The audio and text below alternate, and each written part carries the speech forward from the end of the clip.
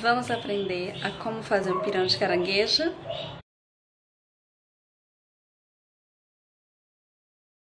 Aqui está o caranguejo esquentando com o próprio caldo do pirão e aqui está as verduras também com o próprio caldo para você separar.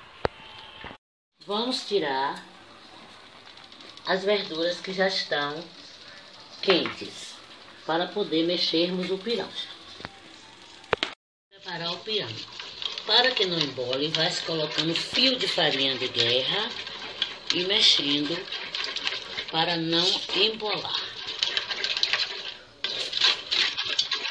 Logo após, leva ao fogo e continua mexendo.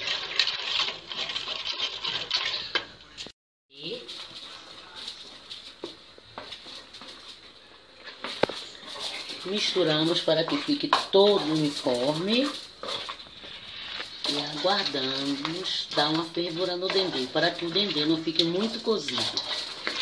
Colheres de amendoins triturados.